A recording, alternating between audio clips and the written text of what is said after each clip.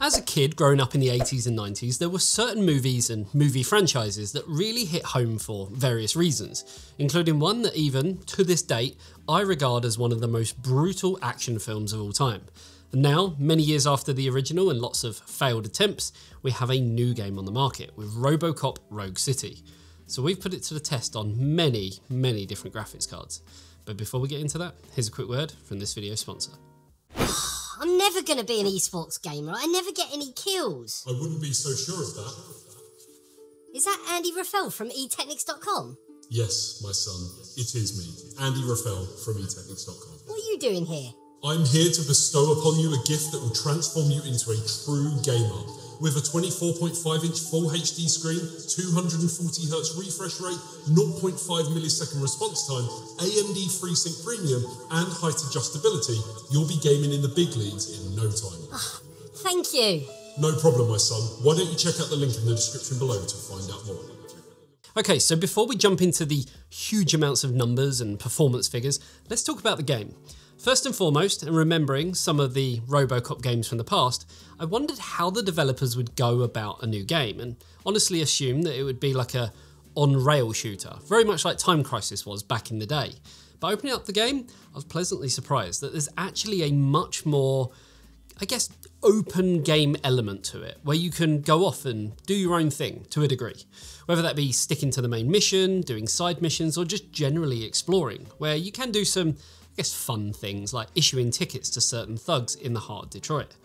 Now, based on the latest Unreal 5 engine, the game looks pretty damn decent, as long as you're on the higher graphics preset and at a higher resolution, because throughout testing, it's pretty clear to see that the lower settings and lower resolutions, while they look good in certain areas, well, they kind of also have an almost grey paint effect in places, like the ground, where the quality just, well, suffers. Luckily, moving up to high or even epic does combat this, but be prepared that you're going to need some hefty power from your system, mainly with your graphics card, because while the game doesn't have ray tracing of any kind, it can still be quite a burden, even on a modest PC setup. Now, there is a way of combating that though, which is upscaling, of which the game supports FSR 2.2, DLSS, and Intel's XeSS. Though, if you don't want to use upscaling for whatever reason, I get it, not everyone likes it, then you do still have TAA or TSR, though that's kind of still classed as a form of upscaling, just maybe not to the same extent as DLSS, FSR, or XeSS. So they will all help to claw back some frames, but the downside is, in most cases, it looks, yeah, bloody awful. Now, in the scene that we tested, it actually added a kind of sparkle to the floor that after a while became just annoying as you walked through, where the upscaling tech was almost trying too hard to improve textures, lighting and reflections, and instead just failed flat on its nose. Now for me, I'd much rather just dial the settings and the resolution back ever so slightly than using any form of upscaling tech in this game. Or to even dial that down if you do want to use upscaling, but maybe put it to quality instead of performance, though then you're going to suffer in the performance. So I guess what I'm trying to say is that really comes down to personal preference as to what you're trying to achieve through upscaling. Also, and I know that it can be fixed through patches and updates, but with the game's menu not having a fixed frame rate, it leads to some pretty bad lag issues when you first boot the game up, which do subside after about 20 seconds, but when you're testing the amount of GPUs we did and restarting the game every 20 minutes or so, it did get just a bit frustrating. Also, on top of that, the only other issue that we did find was on Nvidia cards, where restarting at a checkpoint with any form of upscaling on led to a crash, and the game then had to be restarted. Then you had to turn upscaling off, then restart the checkpoint for our benchmark run, and then enable upscaling again. Again, just frustrating and just, I guess, a niggly thing, but it can be fixed, I'm sure. Now, in terms of the settings, along with the upscaling options, it's all kept pretty simple with low, medium, high, and epic presets, of which, of course, you can alter the likes of shadows, textures, effects, and motion blur and kind of make it a bit more custom. And then of course resolution. And if you are rocking a 40 series card, there's one more option for upscaling, you can enable frame generation, of which we have tested as well. So the real reason you came here, testing and performance figures to see how each GPU did. And we've tested quite a few scenarios, so bear with me as there's going to be a lot to go through. Now for benchmarking, we used our GPU test system with an AMD Ryzen 7 7800X3D and 32GB of Corsair Vengeance RGB DDR5 6000MHz CL30 memory. For our motherboard, we put those parts into a Gigabyte B650E Aorus Master with the latest BIOS, and all of our testing was done on the latest update of Windows 11 with the AMD 23.10.2 and NVIDIA 545.92 drivers. Also, if you want to get access to all of the charts and want to show your support for the huge amount of work we put into this testing, then you can over on our Patreon, where you'll get a ton of kind of cool and exclusive benefits as well. The link is, as always, down below. So, with that out of the way, let's get into those glorious benchmarks. So starting things off with 1080p low, and straight away, I want to say that there are some clear and evident issues with the game. Firstly, there is some CPU bottleneck issues happening on the higher end cards, with the RTX 4080 beating the RTX 4090 by 2 frames per second. But at such a low resolution, that sometimes happens. Now as we move down the stack, this is where the weirdness really starts to present itself, with the other 40 series cards. The RTX 4070 comes in at 165 FPS, while the RTX 4060 Ti somehow manages to come in above it at 179 FPS, and the RTX 4060 at 152 FPS. Upon retesting some of these cards, the results just don't make any sense, with the RTX 4060 Ti now getting 97 FPS, which is quite a dramatic drop from 152, and the 4060 non-Ti now coming in at 122 FPS, which, while it is a drop from 152, it now sits above the 4060 Ti, which should in theory be faster. Now another card that when we made our Alan Wake 2 video that people commented on was our Zotac RTX 3090 Trinity, which at 1080p low came in at 161 FPS in Robocop, while a test on an MSI Supreme X model gave us a result of 129 FPS, which would put it just below the RTX 3070.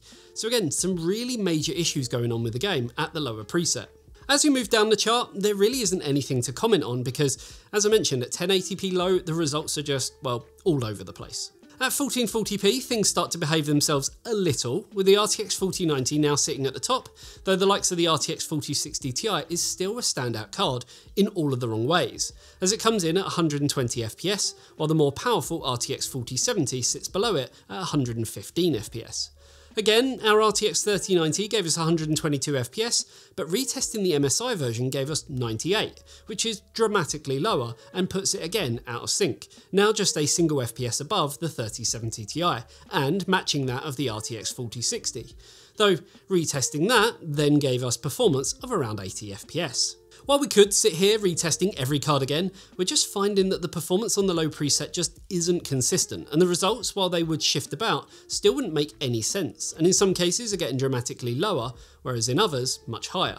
And then the likes of the 4060 and 4060 Ti just being in completely the wrong order. As you move up to 4K on low, there's still some anomalies, and I think it's safe to say that low as a whole should be avoided. While the RTX 4090 storms out ahead, the weirdness comes as we move down to the RTX 3090, which comes in at 58 frames per second, even on a retest, whereas before it was getting 72. Beyond that, you could argue that other cards are now lining up a lot better than what we saw at lower resolutions, though throughout testing it was hard to gauge what was right and what wasn't at all three resolutions on the low setting, including cards on the lower end as we move down the chart, though at least now the RTX 4060 and 4060 Ti are in their respective positions in terms of performance.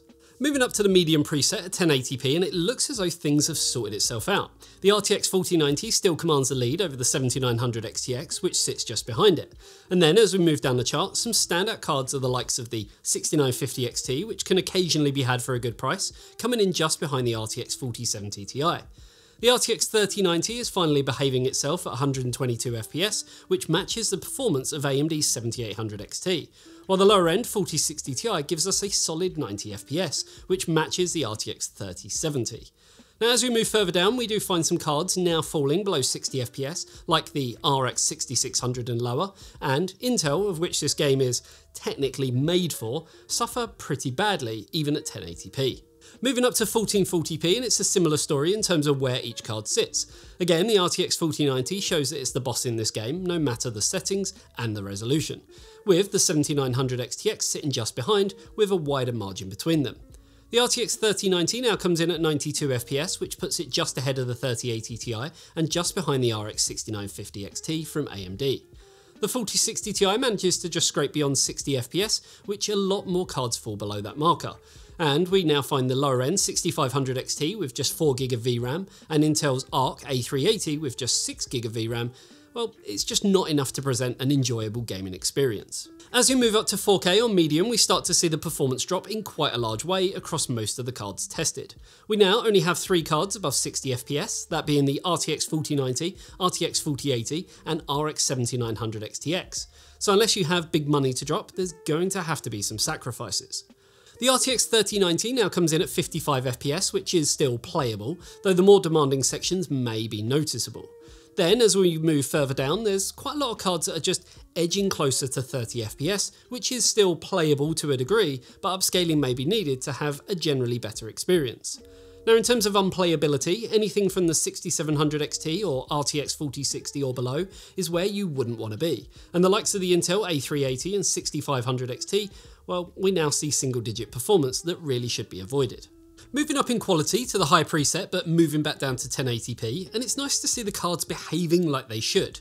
The RTX 4090 still takes the crown as the leader, though the RTX 4080 and 7900 XTX, which draw closer, would still give a fluid gameplay experience at over 130 FPS. There are a lot of cards around the 100 FPS mark, including the RTX 4070, 3080 12GB, 3080 Ti, and 7800 XT, and anything from the RX 6700 and up will net you over 60 frames per second. Sadly, at this resolution, the power, or lack of, along with the small amount of VRAM in today's age, really takes a hit with the 6500 XT from AMD and A380 from Intel suffering quite badly. 1440p still has just under half of the cards sitting above 60 FPS, though you could argue that the RX 6800 is still in the game at 59 FPS, while most of the cards that sit above 60 are more towards the 75 to 80 FPS range, like the RTX 3080 Ti, RTX 3090, 6950 XT and 3090 Ti, which are still holding up fine in 2023. As we move further down, the likes of the RTX 4060 Ti falls below 60 FPS by a small margin, while the RTX 4060 and RX 7600 are now in an almost uncomfortable area in terms of performance. Though it gets worse for cards like the RX 6600, ARC A580 and RTX 3050, which join the 6500 XT and A380 as having a bad gaming experience overall. As we move up to 4K, the only card that can handle over 60 FPS is the RTX 4090, though the 4080 does only fall just under at 57 frames per second. Now anything from the RX 6800 and up, along with the RTX 3070 Ti, is still playable, though the 1% load dips could lead to some stuttering in areas that may have you rethinking resolution or quality choices to gain that extra performance. We now also have half of the cards sitting at below 30 FPS, which really isn't a pleasant experience overall, especially as we get into the teens with the likes of the RX 6650 XT and RTX 3060 at sub 20 frames per second. When we move up to the Epic preset, 1080p still has some strong performance across most cards, with the majority still pushing over 60 FPS. The RTX 4090 still leads with the 7900 XTX just behind, showing that AMD and Nvidia are both pretty evenly matched considering the price difference between them. Though you could argue in terms of value for money, AMD is the better buy for this game. Now moving further down and we still see strong performance from both the RTX 3080 12GB and RX 6800 XT, though we are only at 1080p. Now the RTX 4060 clings on at 61 FPS, while the RX 6600, which hits 33 FPS, is still playable, but I'd personally rather drop down in quality to gain some extra performance. Moving up to 1440p and the numbers are still good from the high end, such as the RTX 4090 at 113 FPS, which comes in much stronger than the RX 7900 XTX and RTX 4080, though at over 90 FPS, their performance is still pretty decent. Then, moving further down, there's still a lot of cards pushing over 60 frames per second, including the RX 6800 XT, RTX 4070 and RTX 3090 to name a few, while other cards like the 7700 XT just fall a little bit short, though upscaling will help here, but will diminish the quality of the visuals ever so slightly. We also still have the likes of the RTX 4060 at 39 FPS, though the dips do hover just below 30, which is a place where you don't really want to be, along with the Intel stack where the A770 is the only one that is just above 30 FPS. Then at 4K on the Epic preset, the only card that manages 60 FPS or higher is the flagship RTX 4090, which comes in with a 1% low that matches the average of the next card down the list, the RTX 4080, which now only sits a single frame per second ahead of the 7900 XTX. Beyond this, the performance tapers off towards the 6800 XT, which manages a solid 30 frames per second. Though with a 1% low of 22 FPS, the more intensive parts of the game may lead to stuttering, and then beyond that, it really isn't going to be any fun with any of the other GPUs, as 13 of them now sit at below 20 FPS. So while the game will look great all the time you're standing still, that's about as far as it goes. Now there is a way to get some performance back in terms of upscaling and depending on the brand of card, you have a few options from FSR or DLSS and XeSS as well. As we look through the various cards, we can see some quite healthy uplifts using FSR or DLSS on performance mode, though the quality really did take a hit, especially at 1080p where you could argue it's much more noticeable. Nvidia's 40 series obviously has frame generation to help it along, which would see you changing the upscaling to quality, enabling frame gen and then getting a good balance of performance and visuals. At 1440p, cards like the RX 6600 XT and RX 7600 were bordering on the realms of unplayable, while FSR manages to push performance to new heights that now exceed 60 FPS. Again, personal preference will see you tinkering with the settings in the hope of balancing out performance and visuals, while the higher end cards just lead to some pretty amazing performance with healthy boosts using FSR, DLSS, or in the case of the 40 series, frame generation as well. Lastly, at 4K and looking at upscaling on the likes of the RX 6600 XT and 7600, we are now back into playable scenarios, but at just over 30 FPS, it's still not fantastic. Whereas the RTX 4060 manages to fight back much harder thanks to frame generation, which takes it from 18 FPS native to 45 FPS with DLSS, and then a further 8 frames per second more when frame gen is turned on. So really, this further highlights that AMD need to hurry up with the rollout of their similar technologies. So that was a lot of data to go through, but I think it's clear to see that the game is optimized fairly well, especially for something that utilizes the latest Unreal 5 engine, which can lead to some pretty awesome looking visuals.